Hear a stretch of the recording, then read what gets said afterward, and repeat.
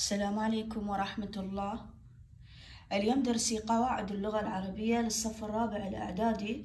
راح ناخذ الفعل الماضي حنشرحه صفحة 15 وإن شاء الله على الفيديو اللاخ راح نحل التمارين. الفعل الماضي خلينا نعرفه. هو فعل يدل على حدث في زمن مضى. هو فعل مبني. الفعل الماضي دائما يبنى. شو نعرفه هو فعل يدل على حدث في زمن مضى. يلا يعني خلينا نشرحه بالورقة.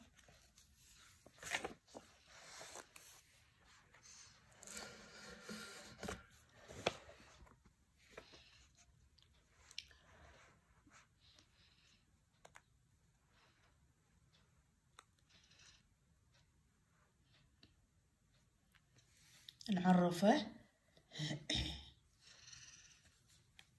الفعل. الماضي. هو شنو؟ هو فعل. يدل على حدث في زمن مضى. يعني حدث بزمن مضى. هو دائما مبني. هو دائما مبني. يعني دائما الفعل الماضي يصير شنو؟ مبني. زين. حالات. زين مثل إيش؟ خلنا ناخذ. مثل درس لعب قرأ كتب. هذا الفعل الماضي. زين. حالات إعرابية مالته. يعني شنو الحالات الإعرابية؟ عندنا يبنى على الفتح ويبنى على السكون ويبنى على الضم. زين. أولاً يبنى الفعل الماضي على الفتح. يبنى الفعل الماضي على اليمن على الفتح. إذا اتصل شنو؟ إذا ألف نقول. إذا اتصل أو إذا لم يتصل نقول. إذا لم يتصل به شيء. يبنى الفعل الماضي على الفتح إذا لم يتصل به شيء. يعني يعني ما يتصل به شيء. لا ناء المتكلمين لا تاء التأنيث الساكنة لا نون النسوة لا ألف الاثنين. مثل إيش؟ مثل؟ مثل ما قلت هسه كتبه. قرأ كتب قرأ هذا شنو؟ هذا ما اتصل به شيء. لم يتصل به شيء. زين ناخذ جملة عليها. ناخذ جملة. مثل قد أفلح قد أفلح المؤمنون. قد أفلح المؤمنون. هذه أفلح لما نريد أعربها هاي ما اتصل به شيء. فعل ماضي مبني على الفتح لأنه لم يتصل به شيء. هذا يبنى على الفتح إذا لم يتصل به شيء. اثنين.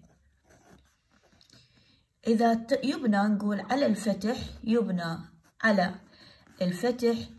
إذا اتصلت إذا اتصلت به تاء التأنيث الساكنة. يبنى على الفتح إذا اتصلت به تاء التأنيث الساكنة. أكو فرق بين تاء الفاعل وتاء التأنيث الساكنة. شلون أفرق بيناتهم؟ تاء الفاعل يعني بها ضمة. يعني نقول هذه تاء الفاعل هذا تاء الفاعل يسموها تاء الفاعل. وتاء التأنيث الساكنة بها سكون. هذا شو اسمى عليها؟ تاء التأنيث الساكنة. يعني هيك مجرد بس أفهمكم بيها هذه. هاي ما عليكم بيها تاء الفاعل. تاء التأنيث الساكنة. شو نقول؟ يبنى على الفتح إذا اتصلت به تاء التأنيث الساكنة. يعني التاء شنو معنى التأنيث الساكنة؟ تجي مؤنث يعني مو مذكر. لما أريد أقول مثل درست. درست. بقى شوفوا هاي. لما أريد أعرب درست. أقول فعل ماضي مبني على الفتح لاتصاله بتاء التأنيث الساكنة. ولما أريد أعرب تاء التأنيث الساكنة شو أريد أعربها؟ لا محل لها من الإعراب. لا محل لها من الإعراب. عيني ناخذ مثال عليها نقول قال تعالى إذا البحار سجرت إذا البحار سجرت. شريد أعرب سجرت. فعل ماضي مبني على الفتح لاتصاله بتاء التأنيث الساكنة وتاء التأنيث الساكنة لا محل لها من الإعراب.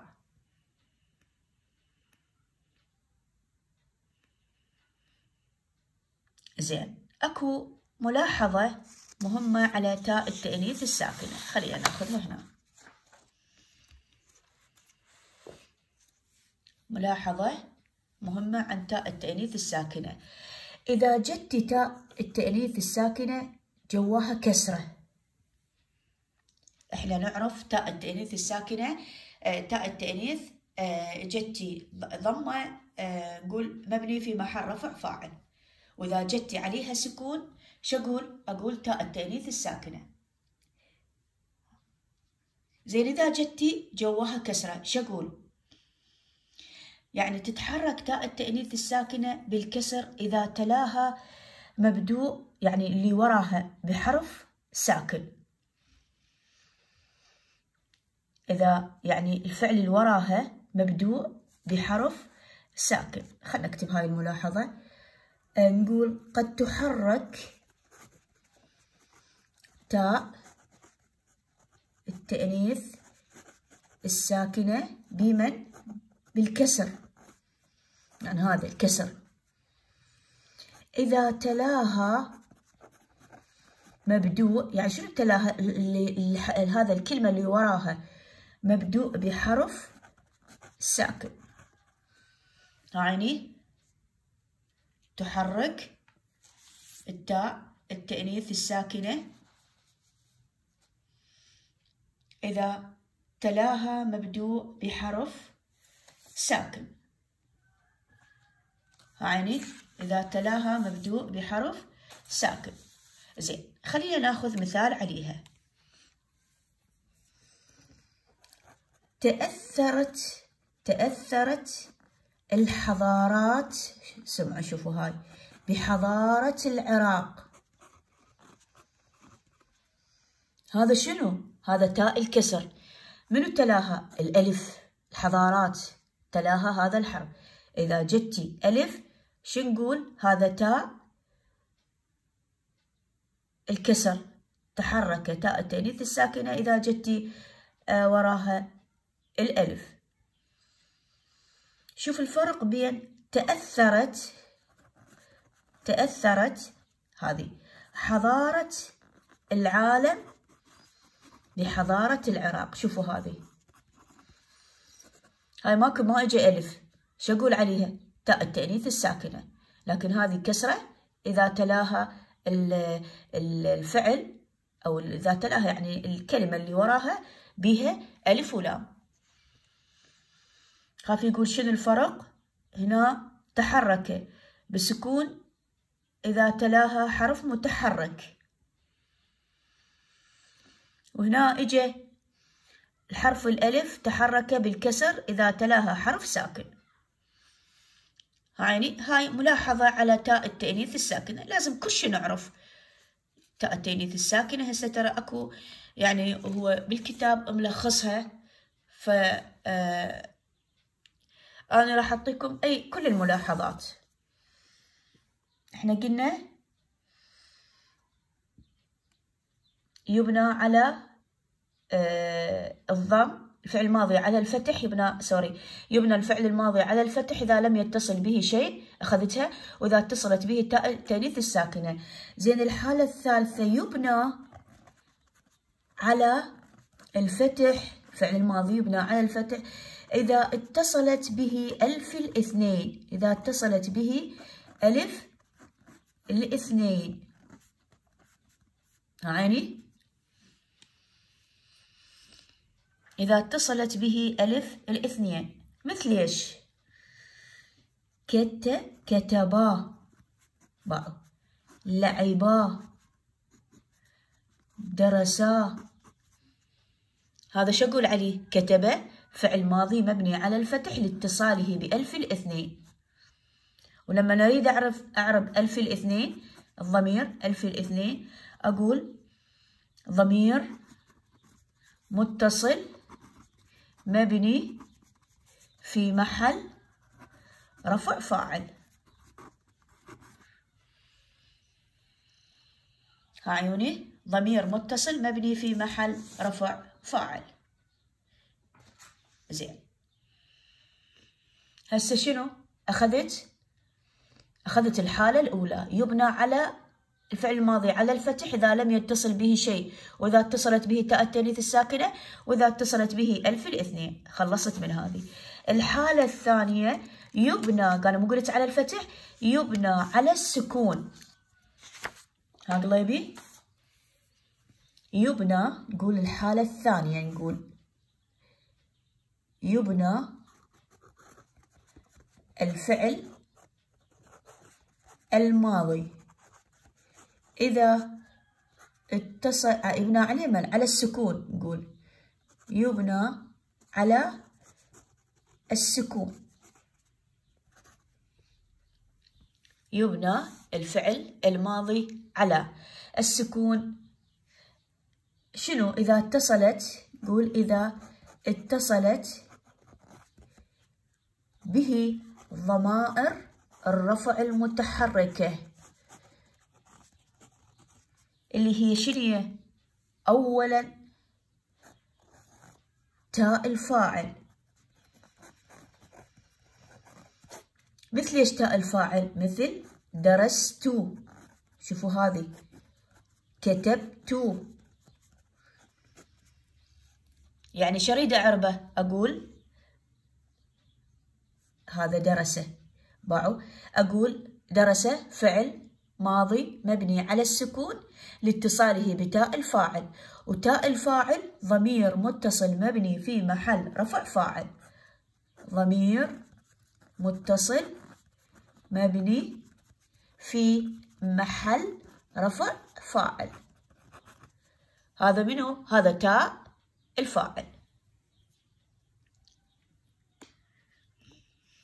زين بعد إيش ناخذ؟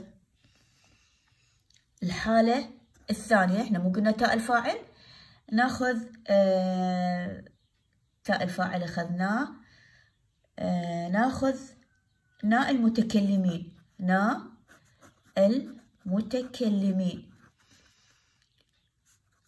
يبنى الفعل الماضي على السكون إذا اتصلت به تاء الفاعل وإذا اتصلت به ناء المتكلمين.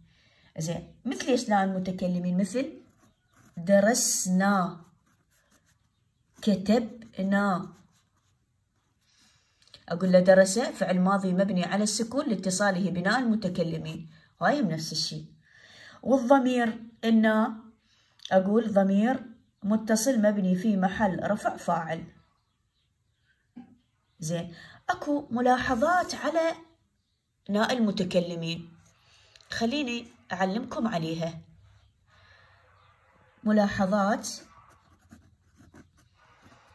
على ناء المتكلمين. أعيني أولا إذا الضمير ناء المتكلمين اتصل به فاعل يبنى على الفتح. شوفوا إذا الضمير نا المتكلمين اتصل به فاعل. مبني على الفتح. مثل إيش؟ مثل درسنا كتبنا. يعني إحنا مو قلنا قلنا التاء الناء المتكلمين يبنى على السكون. إذا اتصل به آه ناء المتكلمين يبنى الفعل الماضي. لكن أكو ملاحظات على ناء المتكلمين اللي هو شو أقول أقول إذا الضمير ناء المتكلمين هذا الضمير يعني إذا الضمير ناء المتكلمين يعني نقول هذا. إذا الضمير ناء المتكلمين هذا يبنى يعني إذا اتصل به فاعل. إيش راح ينبنى على السكون ينبنى على الفتح. ينبنى على الفتح. زين شو اريد اعرب الضمير نا هنا شو اريد اعربه أقول ضمير نا شو اريد اعربه أقول ضمير متصل مبني في محل نصب مفعول به. ها قليبي ضمير نا. أقول له ضمير متصل مبني في محل نصب مفعول به. هذه أولا. إذا اتصل به فاعل. يبنى على الفتح. واريد أعرب الناء ضمير متصل مبني في محل نصب مفعول به. زين ثانيا هاي حال هاي شنو هي؟ هاي ملاحظات الناء ملاحظات شنو؟ الناء الملاحظة الثانية. عيوني الملاحظة الثانية. إيش أقول؟ إذا اتصل إذا اتصل. ناء المتكلمين. بحرف الجر. حرف الجر. مثلا عندي لنا هذا حرف اللام. آه بعد شنو؟ معنا. مع حرف جر. وعلينا على حرف جر. إذا اتصل به آه ضمير نا المتكلمين بحرف الجر. شو ينعرب هنا النا يعرب يعرب ضمير متصل مبني في محل بحرف الجر لأن هو حرف جر اتصل به. شو ينعرب الضمير متصل مبني في محل حرف الجر الحالة الثالثة. الحالة الثالثة. هاي بدنا نحكي على ملاحظات الناء المتكلمين. إذا اتصل ناء المتكلمين. باسم. باسم. مثل إيش الاسم؟ مثلا عندي ربنا. رب مو اسم. رب مو اسم. بعد آه كتابنا. كتاب مو اسم. إذا اتصل به نا المتكلمين باسم شو ينعرب لنا يعرب ضمير متصل مبني في محل جر بالإضافة. ضمير متصل مبني في محل جر بالإضافة. كافي هاي حالات شنو؟ حالات الضمير نا المتكلمين. زين بعد شي يبنى على اليمن يبنى على السكون إذا اتصلت به نون النسوة. هاي ثلاث حالات. قلت ثاني يبنى على السكون إذا اتصل به تاء الفاعل وناء المتكلمين أخذنا عليها وأخذنا حالاتها ملاحظاتها. هسه نون النسوة. نون النسوة. إيش أقول؟ يبنى الفعل الماضي على السكون إذا اتصل به نون النسوة. زين مثل إيش نون النسوة؟ كتبنا. باعوا درسنا لعبنا هيك يعني. هذا نون النسوة. شو العرب أقول لك فعل ماضي مبني على السكون لاتصاله بنون النسوة. والضمير النون النسوة؟ نون النسوة. أقول له أقول له ضمير متصل مبني في محل رفع فاعل. ضمير متصل مبني في محل رفع فاعل. خلصنا شنو؟ خلصنا بناء الفعل الماضي على السكون وخلصنا بناء الفعل الماضي على الفتح. هسه ثالث حالة يبنى الفعل الماضي على الضم لاتصاله بواو الجماعة. نقول الحالة الثالثة يبنى الفعل الماضي. على اليمن على الضم. لاتصاله بواو الجماعة. هايني يبنى الفعل. الماضي على الضم لاتصاله بواو الجماعة. مثل شنو؟ درسوا. لعبوا. هذا درسوا. لما أريد أعربه شو أقول أقول فعل ماضي مبني على الضم لاتصاله بواو الجماعة.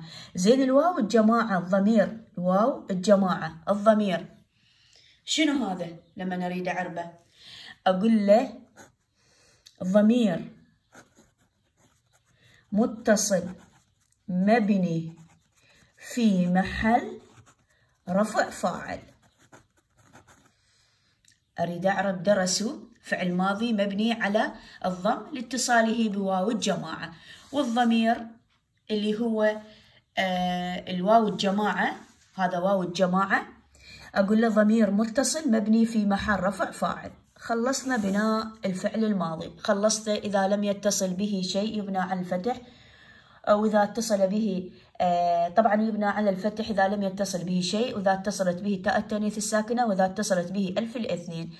أما الحالة الثانية يبنى على السكون إذا اتصلت به تاء الفاعل وناء المتكلمين ونون النسوة. والحالة الثالثة يبنى على الضم إذا اتصلت به واو الجماعة. زين. هسه شو أقول؟ الفعل الماضي. شوفوا انتبهوا على الفعل الماضي.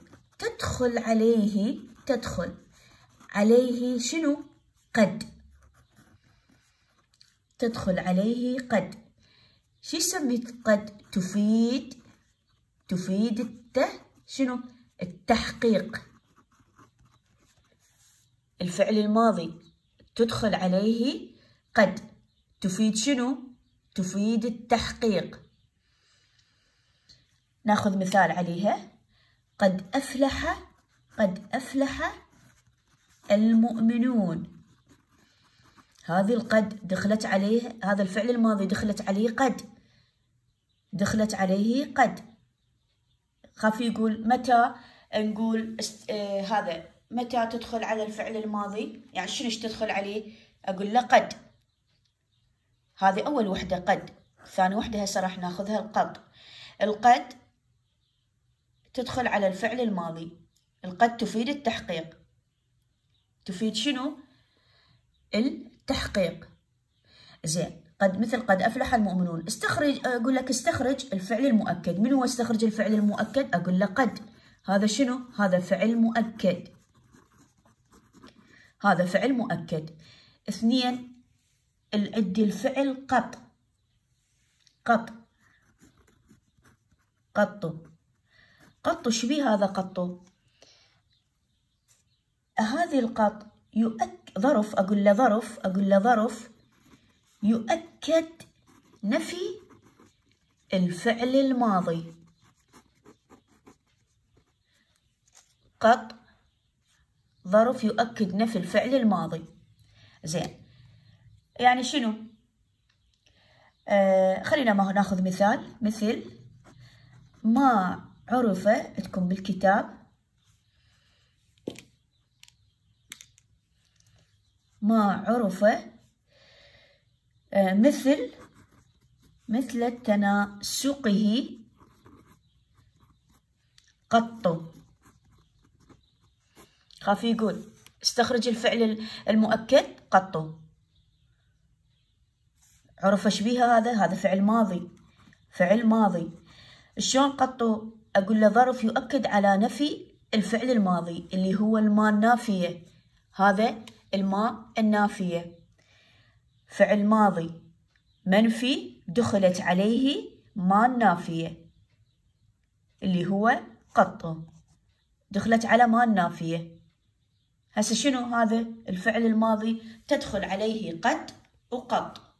القد تفيد التحقيق قد أفلح المؤمنون. خاف يقول استخرج الفعل المؤكد أقول له قد. ثاني قط قط ظرف. ما يأكد إلا نفي الفعل الماضي. يعني إلا تدخل عليه ما النافية للفعل الماضي. عرف فعل ماضي دخلت عليه ما النافية هذا قط هاي يعني الفعل الماضي بالتفصيل الممل. وإن شاء الله التوفيق.